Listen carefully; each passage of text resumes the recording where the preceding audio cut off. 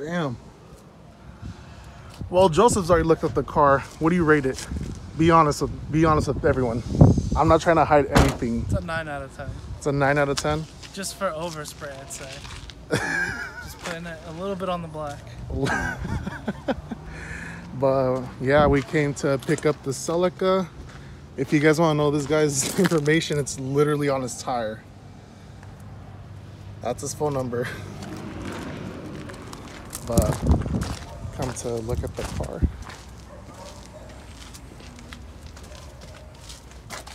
Te va enseñando y según como vayas mirando, vayas mirando cómo vas, pues, ¿me entiendes?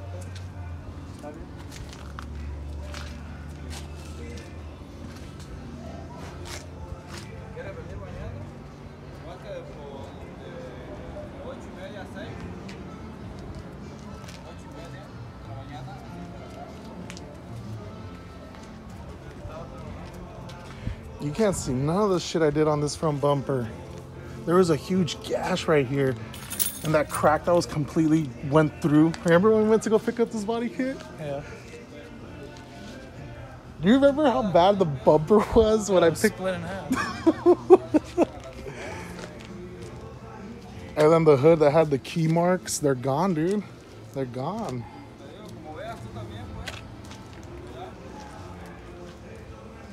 Fucking clean.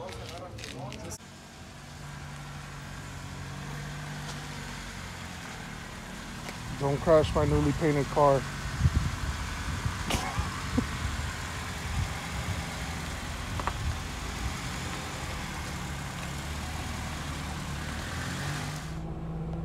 really, really clean car. Like, like this guy, the previous owner put a brand new OEM shift knob and shift boot. Like, this car shifts like damn butter, like a hot knife cutting butter. And it sounds so good with that intake, the eBay intake. Check it out. No check engine light either. So, it is a non-windy day for once. Jeez, it's been windy as hell for like the past three to four days. Like very, very windy. But here I am finally with the white Celica, white Tsunami. Gave it a quick little wash. Didn't really dry it or nothing. Just let the wind dry itself or let the wind dry the car. But it is really, really really bright what like a bright white if the sunlight's hitting it it's gonna hurt your eyes that's how bright this thing is but i'm in love with this white actually like um same guy that painted the blue tsunami um but unfortunately i did find a couple of more runs. The blue one had two runs. This one i believe has a couple more runs but you know with wet sanding and buffing you can pretty much fix that. But noticeable runs noticeable runs. I think i saw one right here. You can somewhat see it but that's a run right there um where else where else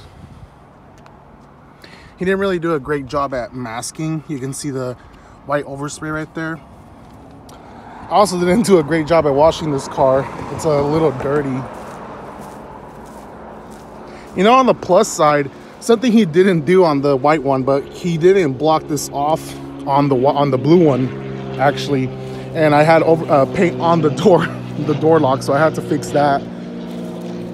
Um, I I know I saw another run. The bumper was fine. The bumper's fine. I know the bumper is fine. We're missing a side marker because I actually grabbed this side marker from that $500 Celica that I bought from Atwater. It only had one side marker and the other one was completely missing. So I'm gonna go ahead and try and get another JDM side marker because I don't know though, the dark orange kind of do does go well with the white, not with the blue, which is what I didn't put. I put actually clear ones on the blue one. Um, oh, this is a big one. Overspray. Um i believe this is the only side he got overspray. He didn't get it on the other side. So i'm gonna go ahead and take this off and run some acetone on it and see if i could get the paint off. So we're gonna go ahead and do that. Um yeah you can see he, he did a better job on this side. He covered it on this side really well so i'm actually okay with that. Um i need to go buy the weather stripping that goes right here so that it covers that gap because it doesn't look all that great and i need to figure out how to get this side skirt to fit because on the tsunami packages it has holes right here on the quarter panel right here on the lower side but regular Celicas didn't come with those holes so i don't want to drill into the the body in case the new owner wants to put different side skirts or not keep it tsunami so it'd be unfortunate if he did take off the tsunami package but I don't want to do that, so I'm just going to leave it like that. I'm going to let the new owner know. Um, um, technically, this car is spoken for, um, so um, it's kind of already sold.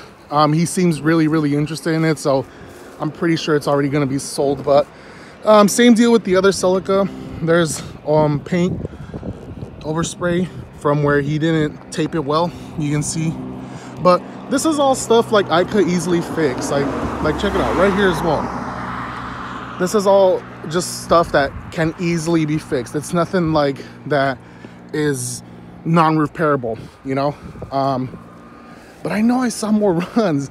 It, I know I saw runs because in the dark, you can see all the runs. You can see all the runs. But right now, because it's incredibly shine, like bright, you can't see the runs that well. But I know I saw runs. Um, oh, more overspray, more overspray. Looks like there's a run right there. Little bit of um, clear coat adding up right here. Oh, another thing. So I did get asked this a lot from the previous video and I didn't really specify it. This is not a single stage paint.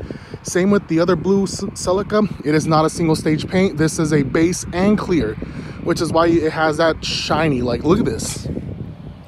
Look at that reflection though. This is like, it looks so good. I'm like so happy that like Clayton introduced me to this guy like 800 bucks. You really can't beat that. Base and clear, not single stage. Maaco was charging me $1,500 for a single stage um, enamel paint job, I think it was. 1500 Like that's awesome. I'm, I'm, I'm really happy. But I'm not happy with the overspray. You can see the overspray is everywhere. He did not do a good job. So I don't know. I'm probably gonna have to talk with him next time if I'm gonna get a car painted with him again. There's more runs right there. You can see the runs right there. There's another one right there. Like it's it's really it's really tiny like really tiny um um, runs. They're really tiny. They're not like huge. And I'm trying to point them out for the video because I'm trying to let the new um, owner look at it. So like he kind of has an idea at what he's gonna come look at, you know? But the interior is still dirty.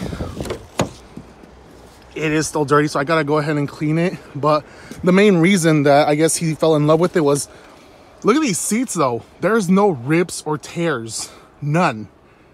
Like this interior is like a nine out of 10. Like the new shift boot and the new shift knob, OEM Toyota as well. So we're gonna go ahead and clean that probably in a future video, but look at this, this rear end, like it is so damn clean with the original floor mat and the cargo net. And previous owner did install this red lettering. I thought it looks good. I have it on my on my Celica, so I'm just gonna leave it there. Um, we are gonna get rid of this exhaust tip. I do have my, I am gonna get my friend to weld it or weld a new exhaust tip, a chrome one, so it could look good. Because this black one, this is the one that came with the car, and when I took it off, the heat from the exhaust was was deforming the diffuser. So I just put that back on so it wouldn't do it anymore. And I did that. Um, I still have to adjust this side a bit. Um, you can see it's kind of tucked in compared to the other side, but the only, the only reason the, the other side's not tucking in is because I had already installed the, oh, you can see the overspray as well. overspray. But this is what I'm talking about. I installed this and this pushes the, the bumper out. Oh, is this a run? This looks like a run right here. Yeah, but the, as, as you know, they're really tiny runs. They're not big, and it it sucks. But I can't complain for eight hundred dollars. Like eight hundred dollar paint job. And I'm pretty sure this is better than, oh, wait, wait, is this a run? Is this a run? That's a run. Okay, see, I'm finding them.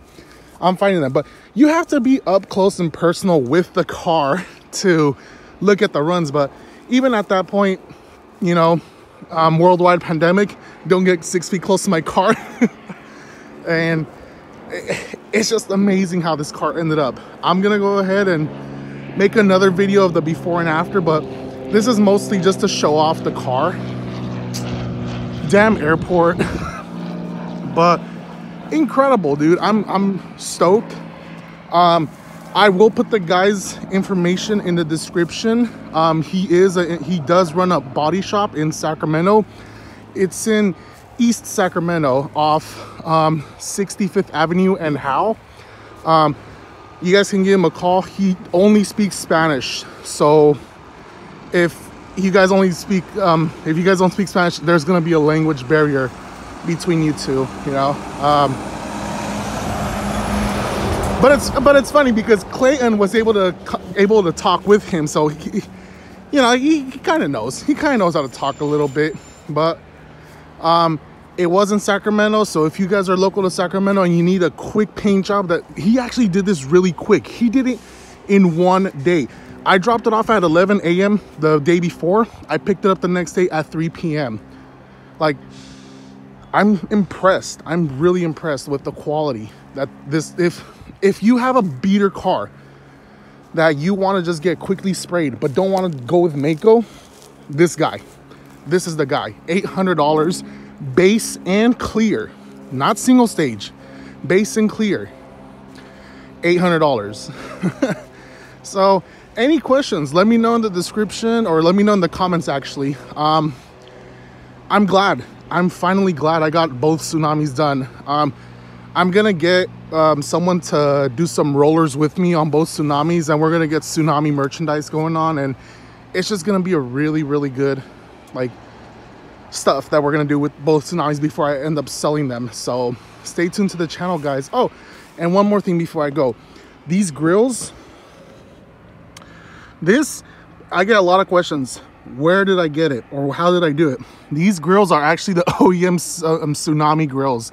So um, the tabs did break in the back. So what I did end up doing was drilling a hole, a really tiny one, and just zip tying it to get the grill to hold on. So it looks really, really good though. But if you want something like this, go on eBay and just look up Universal Grill. It will pop up exactly like this. so thank you guys if you guys made it to the end of this video. I know I talk a lot on my videos, but it's that's just me if you know me in person you know i talk a lot and i'm not shy you know i used to be shy back in the day but i'm not shy no more i, I tend to talk more now so any questions let me know in the comments guys. Please and thank you. See you guys around